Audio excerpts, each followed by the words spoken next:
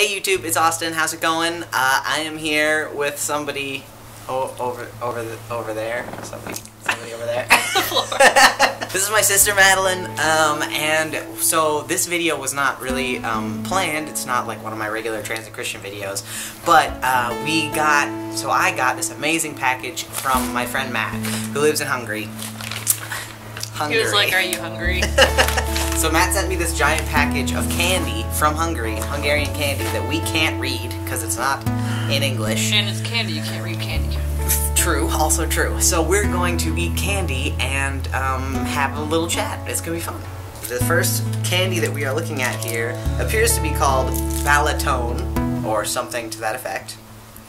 What I wish I could fake that accent, but I don't even know what it would, I know, I don't know how what a Hungarian accent sounds like. and be I won't even try. The good thing about it is that there's 20% more Oh, So first question, um, let me think. I didn't prepare any questions. That's fine. What'd you think when I came out as trans? As trans, um, I thought that it was cool that you uh, sort of came out in layers, like two layers of people. It was so you that you were like, "I've made this website. I've compiled some resources for you all."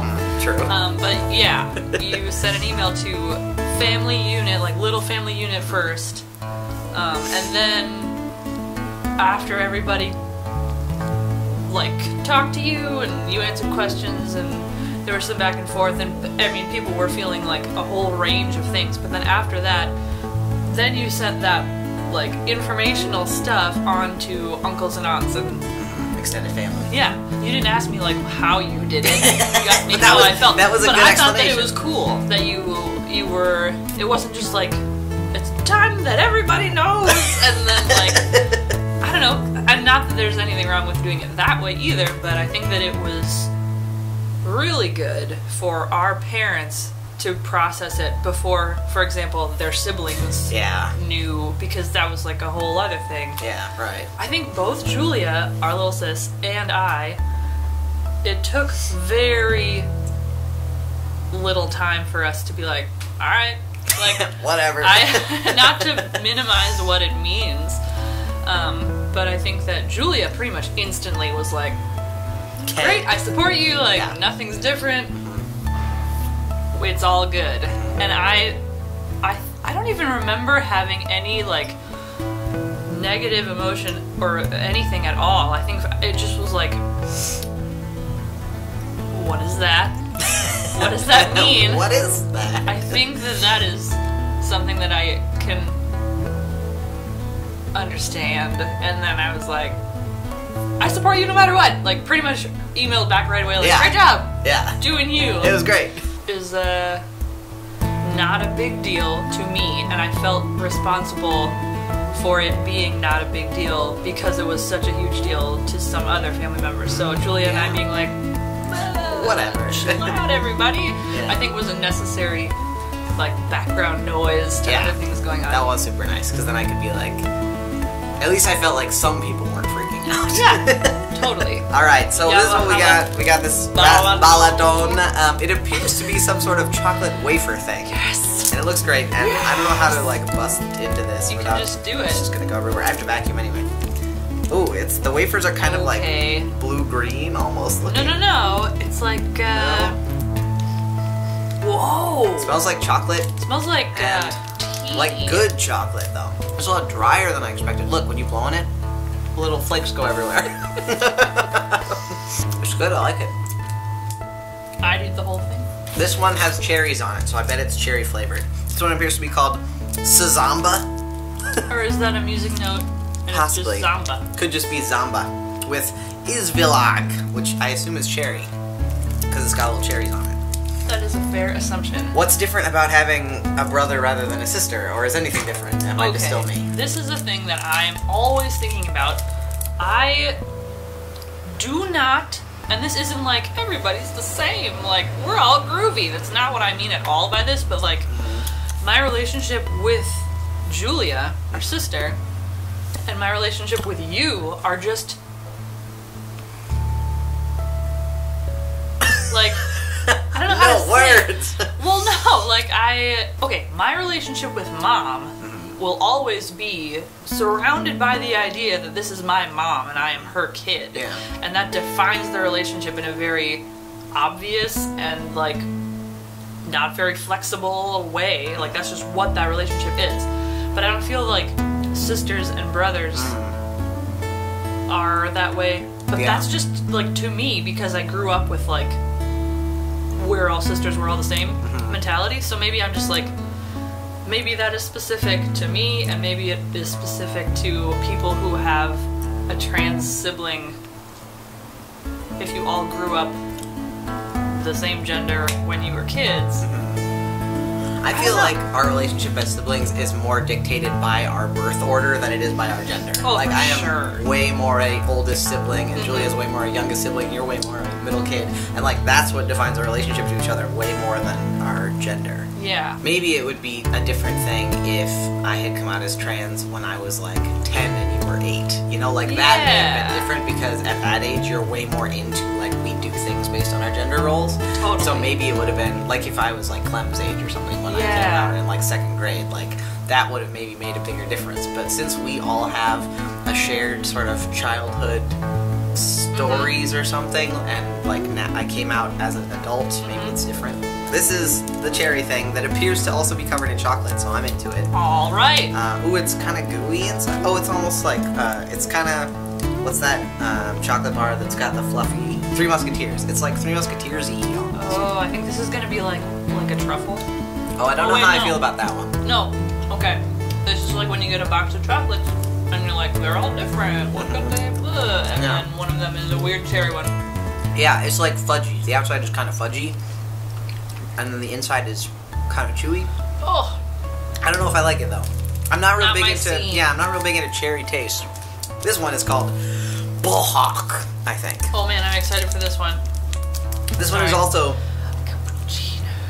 oh yeah, that looks like coffee. This one also says his vlog on it, um, which I thought was cherry, but appears to not be because I don't Is have any cherries on the this. one. brand? May- Oh, see that one says it too. Yep. Yeah, so his vlog must be a, a thing. I'm sorry, Matt. I'm butchering all these names. Oh, oh, this is. Oh. Pardon my Minnesota O. This one um, smells like uh, chocolate oranges. yes, it does. Oh yeah, that Okay. one I like chocolate orange. this is What's that guy? coffee one.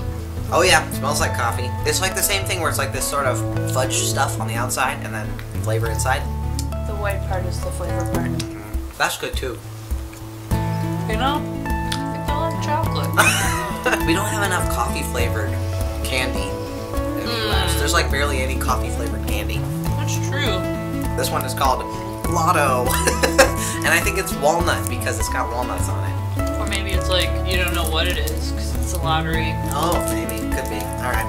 Honestly, I can't really taste anything. Ooh, hazelnut. Is that what it is? I don't know. Alright, so you're gonna ask me a question on this one. Yes. Go ahead. Why did you decide to make YouTube videos about your experience or the things that you know versus taking other types of actions? Because I think that a lot of Like like blogging or like or like devoting time to like going out trying to change laws or mm. like dir- in ways that people think are more direct Right, yeah, okay, I see what you mean.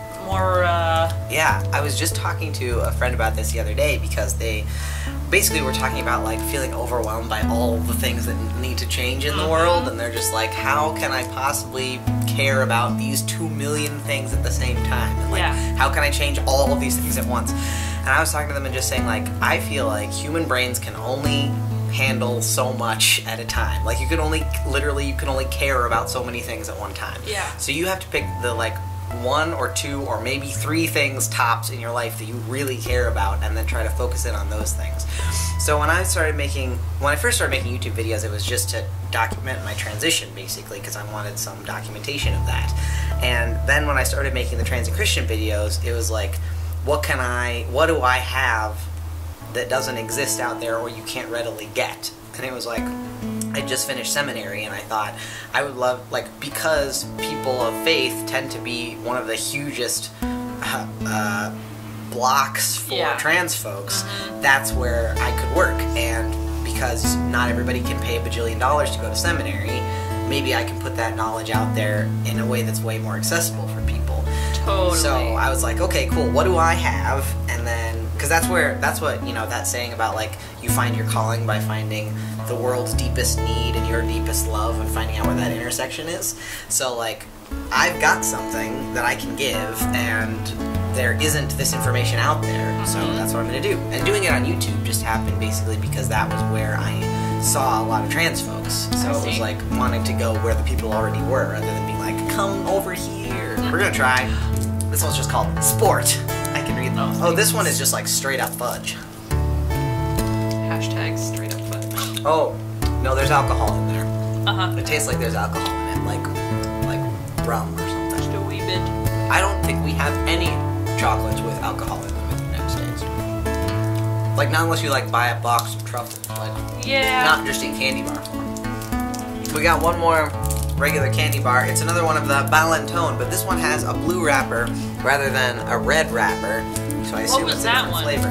That one was the one that was like wafers, like Kit Kat. Oh yes. I like those. I don't the difference. Me either. I it's like cardboard and chocolate. Hey. maybe this is dark chocolate and maybe this is milk chocolate, Oh, but I have no real clue. this is Dealy. Milk chocolate and hazelnut cream. Sounds delicious. I could have told you that. Check out those nuts. It's true. Well, I would have guessed That should be the title Mint. of this video. those are hazelnut leaves, but looking at that, I would have guessed like mint hazelnut. Wait, what should be the title of this video? Check out these nuts. I forget. Something like that. There's like a weird aftertaste. Mm, It's like it kind of it's a little bit um too creamy. too creamy. Yeah, it kind of falls apart in your mouth a little bit. Kind of like uh, the inside of an Oreo. yeah, but chocolate. I can't imagine right now eating more, but give me like 90 seconds. Ooh, we're gonna eat these next, and I know what these are. These are Ropogos Sos Palangchica. Wow. You give that a try. They look like pretzels. I think they're pretzels. Close. It appears to be telling us. what? Your voice did that weird bubble thing. it appears to be promising that there are either 40 sticks in here or 40 grams or 40 something. There's 40 on this package. Let me feel it. Feel the 40 grams, exactly. When we were kids, did you ever um, have any feelings about me or my gender in that sort of like we always knew kind of way? Well, the Oh, thing is, don't say what they are. okay. I just bit my tongue. These are great. They're not. Before you answer this question, they're not like salted. They look like pretzels, They but are. they're not salted. I saw a granule, Okay, there's one granule of salt in this package, um, and I got it. and they're they're mostly just like breadsticks. They're like, like, uh, tiny breadsticks. The like crunchy noodles that Yes. ladies put on hot dishes. those are um, they go actually go in stir fry. They're like those hard. Yeah, they're they taste like chow mein noodles. Yes. Don't hate them. No, they're good. I'd eat these. I am eating these. You know I eat these. okay, so when you're a kid, you have the vocabulary of the people around you who teach you how to talk and think. And so I don't think that I would have had the ability to even know. Well, obviously not. Like I, we weren't brought up being like, "This is our transgender friend Schmo." Like that wasn't a thing. A good name. But the term everybody used was tomboy, and that was Right. like because I only really heard it about you. I mean, not only, but initially heard it about you, Mm-hmm. and like you saying it about yourself. Then later on, when I met other tomboys, it was like the relationship was to you. Like that was the. Mm-hmm. It's like how his dad is the first dad identity you know. right. So because I already had that term, it became like a catch-all for your personality. Mm. So, But um, you're saying that it was more like tomboy was in itself its own sort of entity or gender. Yeah, yeah. So that it was like, it wasn't that I was, or maybe not like a different variety of girl. It was just like a whole different thing. Right. I didn't have like an I always knew feeling. Like I don't remember having those feelings, but when you came out as trans, after that very, very short, like within that day, those feelings of like, what? What is this? Like, just because I had never met anybody who came out as trans before. After that, the wheels kept turning, and then eventually it was like, oh, like, this one appears to be some sort of chocolate heart egg. Mm-hmm. Oh, that's really cute. It says Sesamos or something to that effect. Ooh, this one looks like dark chocolate. Like it's not messing around. this is serious. Oh, oh, there's stuff in it. Excuse me, coconut. Yeah, it does look like coconut. It is nothing. It tastes of nothing. I think it's just that we expect it to be really sweet, but it's not. This little guy has oranges on it, and it looks like the chocolate oranges that we eat for Christmas. So instead of waiting to find out if it's similar or not, let's just smash it on the ground. Let's see. No, it appears to be some sort of truffle shape.